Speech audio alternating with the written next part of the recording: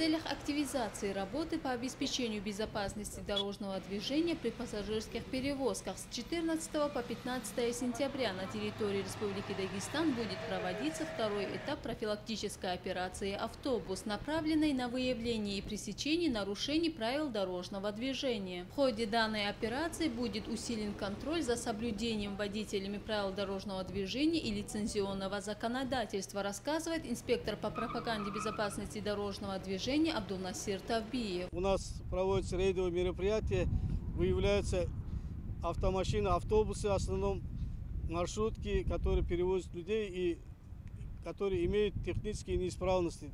Также изменены конструкции, установлены или газовое оборудование, сидячие места переделаны на лежанки. С 18 по 22 сентября проводится операция «Трактор» и мототранспорт. Это тоже связано для обеспечения безопасности дорожного движения, чтобы будет обращено внимание на данный вид транспорта. Поэтому, чтобы они не оставляли технику, чтобы сельхоз машины, они ночное время не выезжали на дорогу, будет запрещено движение и впредь будет взято на контроль. В рамках данного профилактического мероприятия будет усилен контроль над соблюдением правил дорожного движения, запрещено передвижение гусеничных тракторов, экскаваторов по федеральным дорогам на территории города, а также передвижение тракторов и другой сельскохозяйственной техники в вечернее и ночное время суток и их оставление в неустановленных местах, то есть на обочинах. Зарема Хайбулаева, Самат Гакаев, информационная программа «Пульс».